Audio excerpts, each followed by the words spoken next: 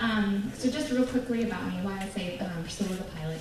Um, I graduated from Riggins High School uh, down south, still in District 7 area. It covers essentially from Riggins up to Sandpoint. And I graduated from Riggins, went to the Air Force Academy, um, ended up becoming an A-10 fighter pilot. Probably, I'm just going to make up numbers here, probably the only female fighter pilot to come from District 7. And maybe one in Idaho, I'm not sure. But um, really uh, enjoyed serving my country. I got off active duty two summers ago, joined the Guard down in Boise, and right now I'm actually a major in Air Force Reserves still, but because it's a reserve duty, I was able to get involved in politics.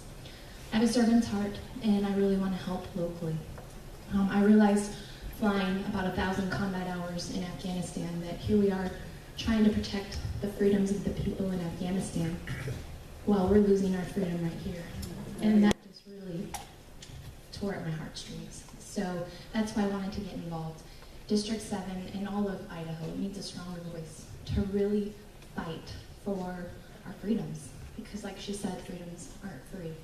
So that being said, um, some additional things I can talk about.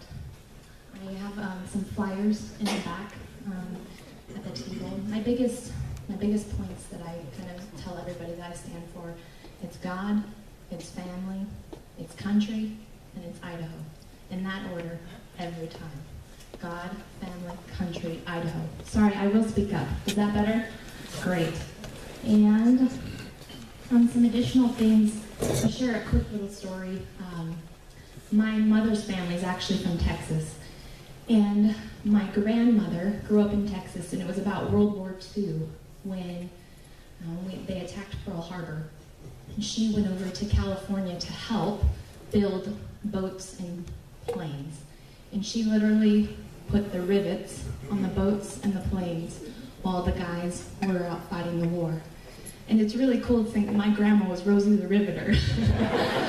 and it's funny because I didn't really realize that till I got older. And, um, but I had the Rosie the Riveter, you know, we can do it thing in my room, college dorm, and pilot training uh, room because we can do it. But three things um, she taught me to educate yourself and don't ever let school get in the way of your education, and to work hard, and um, and that we can do it.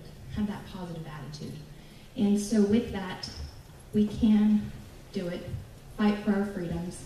Keep educating our children. And um, I brought the Idaho State Constitution. If you have questions on that, I brought our U.S. Constitution, Republican platform stuff. So we are ready for your questions. Um, we have, I have um, several handouts in the back too that dive into the numbers, and I'm really looking forward to um, sharing those concepts with you. Thank you for letting me be here, and uh,